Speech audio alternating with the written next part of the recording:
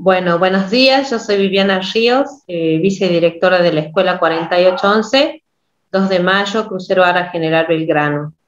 Eh, esta institución está situada en la zona sureste de la capital salteña y somos escuela de periferia, pero este, de primera categoría, porque contamos con una matrícula que supera los 1.500 alumnos. Nuestra institución funciona a nivel inicial y nivel primario de primero a séptimo grado.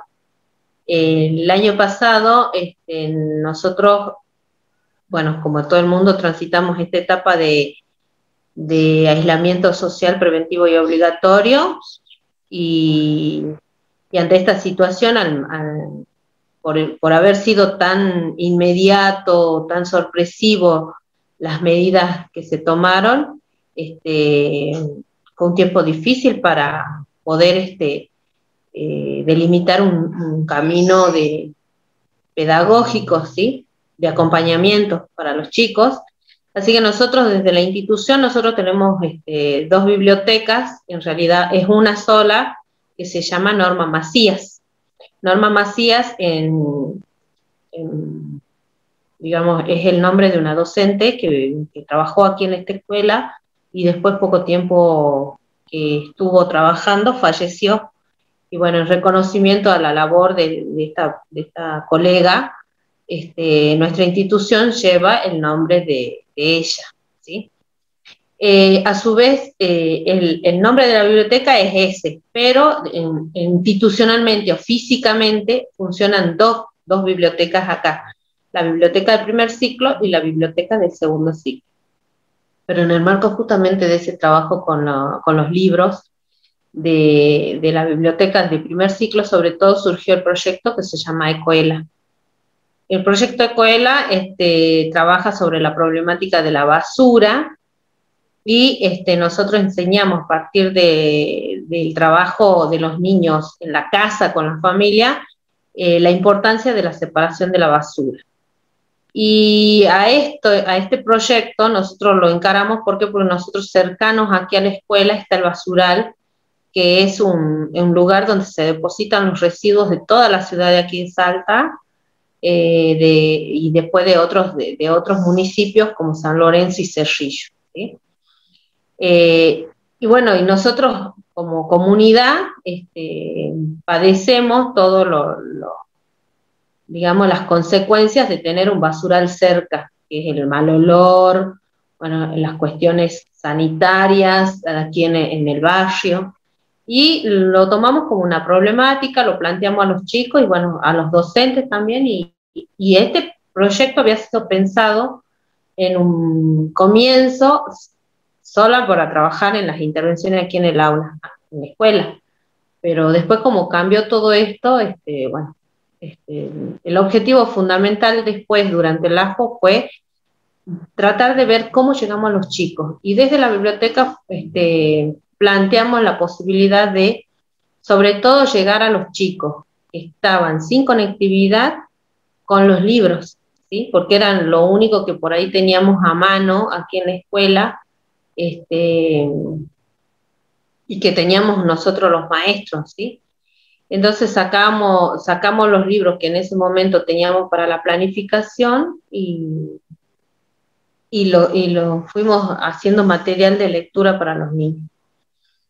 Eh, trabajar entonces la parte literaria desde la lectura con los padres, con los niños y con cartillitas que hacían las señas y nosotros personalmente, aunque teníamos este, eh, limitado eso de ir a los domicilios, pero nosotros sí fuimos con, las maestras, nos turnábamos y hacíamos las visitas, ¿sí? hacíamos visitas en los domicilios de los niños que sabíamos que no tenían conectividad, pero que necesitaban seguir aprendiendo.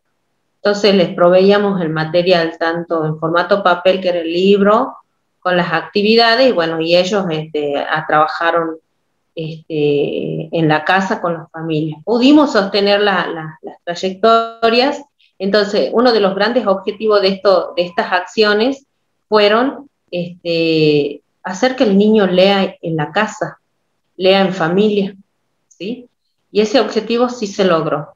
también con ese, con la consigna de que se lea en la casa, otra, otra, otro hábito que tratamos de fortalecer en la familia es que se lea de noche. O sea, antes de ir a dormir el niño tenía que escuchar en la lectura de parte, por parte de algún adulto de la familia, de, un hermano, del papá o de la mamá. También es otro hábito que se trabajó y, bueno, está, eh, pudimos darle continuidad este año también.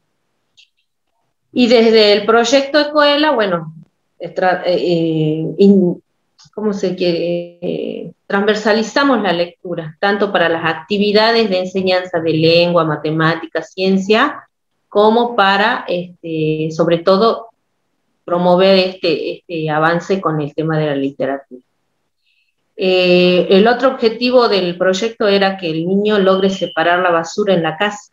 Y bueno, ese proyecto, o sea, ese objetivo también se cumplió el año pasado, los niños hicieron lo que se llama el eco ladrillo.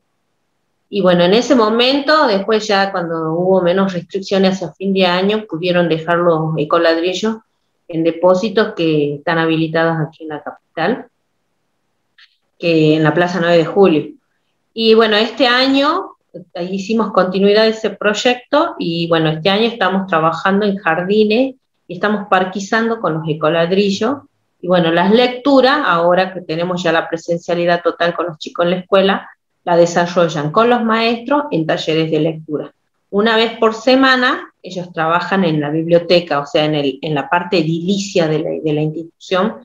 El maestro, en vez de dar clase en, el aula, este, hace una instancia de trabajo en la biblioteca, con los libros del aula, con las cajas del aula, con los libros de la biblioteca. En el caso de nosotros tenemos diccionarios, tenemos enciclopedia, este, tenemos las cajas del aula, ¿sí? Y también tenemos distintos manuales eh, que nos ha provisto el gobierno. Así que tenemos, gracias a Dios, una biblioteca muy nutrida en material bibliográfico. Y los objetivos que habíamos planteado se extendieron, porque el, el, el objetivo más grande que teníamos con ese proyecto fue sostener las trayectorias y lo logramos, porque la, la totalidad de los chicos que, que habían quedado al margen, supongamos de un grado, nosotros tenemos grados de 29, 30 chicos.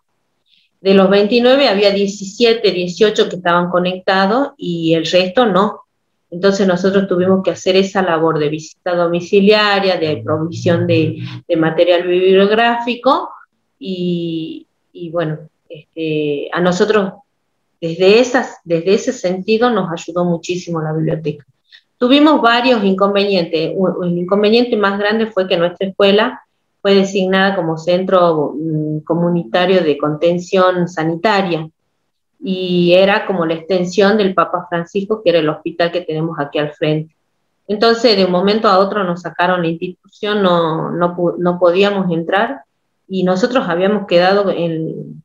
Hicimos esto con los, con los libros que habían quedado en la, en la biblioteca, o sea, en la casa de los maestros, porque justo en esa etapa de eh, mes de marzo estamos planificando, así que muchos de los libros que pudimos proveer fueron los libros que el maestro tenía en su casa, ¿sí? porque ese fue, digamos, un, inconveniente que tuvimos que atravesar, que, que, afrontar, pero bueno, lo hicimos y gracias a Dios, este, por eso yo a la hora de, si tengo que socializar, ese fue un proyecto, porque surgió con varios inconvenientes, pero bueno, a partir de, las ganas que han tenido muchas de las, casi todas las docentes, bueno, se pudo trabajar. Y, la alegría de hoy es que tenemos a todos los chicos de nuevo en la institución y bueno, eh, pudimos lograr sostener las trayectorias.